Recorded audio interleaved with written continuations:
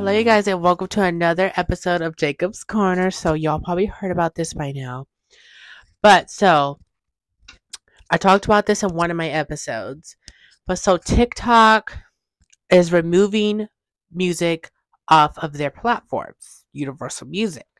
The Universal Music Group is taking the music off of TikTok because the licensing between TikTok and the Universal Music Group expired. So their license expired. So my thing is if Universal takes the music off of TikTok, that's going to be literally the dumbest thing they'll ever do. But I feel like TikTok is more than just an app just to dance on. TikTok is I think TikTok's mainly for promoting things like news. You can promote your business. You can promote your YouTube video. You can promote your music. You can promote anything on TikTok. This I that's what Tik because I use TikTok to promote stuff. So I think that's what TikTok's for for like news. You can promote your business. You can promote your your your if you have a if you're coming out with music, promote your music. Yo, when I tell you, there are so many artists in the music industry. There's so many artists in the music industry that sings different genres. So I didn't hear some of these artists that are in the industry, in the music industry. I did not even know who you are. Like I didn't even know who you guys were until Miss TikTok told me. Like it's cra- it's crazy. Like um like when artists comes out with new music, they'll post on TikTok. It doesn't matter if it's 60 seconds or more. TikTok will like boost up their music. It will like boost up sales.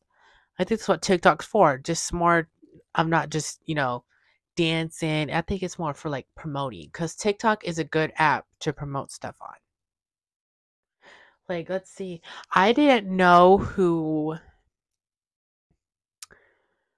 Selena was. Not Selena Gomez, Selena Quintanilla. I didn't know who she was until TikTok told me who she was. Like there's some artists out in the in this in the music industry I never even heard of. Like an artist could drop a new song, I won't even know about it until it goes to TikTok. When it gets to TikTok, I'll know about it. That's like when a movie comes out. I'll like see a little snippet on TikTok of the movie I feel like people use TikTok to like, oh, a new movie's come out. Let me look it up on TikTok. Let me see what it's about. Like, I feel like that's what TikTok's for, just promoting, promoting things. Because TikTok is more for promoting. Instagram, not so much. Instagram's not the place to promote things. I feel like Instagram is more for like like Instagram. Instagram's not a place for promoting. I think Instagram is more for like pictures and you can post stuff on your stories. But yeah, TikTok is a good platform to promote things on. I think that's what TikTok's for. I don't know, y'all. It's it's crazy. So, music there would be no music on TikTok anymore. That's kind of insane. So, yeah, yo, I feel like TikTok is more of a promoting app. You can promote your business, you can promote your music, you can promote your your latest pod, your latest whatever came out. Like that's what TikTok's for, promoting things. That's what you could use TikTok for. Instagram is not so much cuz Instagram got a lot of guidelines. Like that's why I don't go live. I used to go live on Instagram sometimes, but I don't go live on there anymore because they have so many guidelines. Like you can't play any music in their lives. So okay. So y'all, it's crazy. So what's TikTok gonna be like when there's no music on it? It's gonna be I don't know what TikTok's gonna become if the if you know if the Universal Music Group takes the music off it's gonna be a very it's gonna be very weird.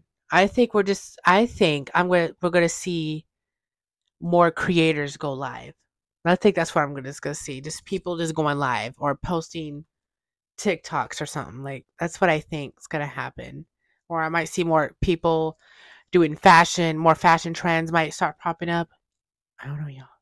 Thank you guys so much for tuning in and watching this episode. Make sure you guys subscribe and click that bell for notifications. And I will see you guys in the next episode. Bye.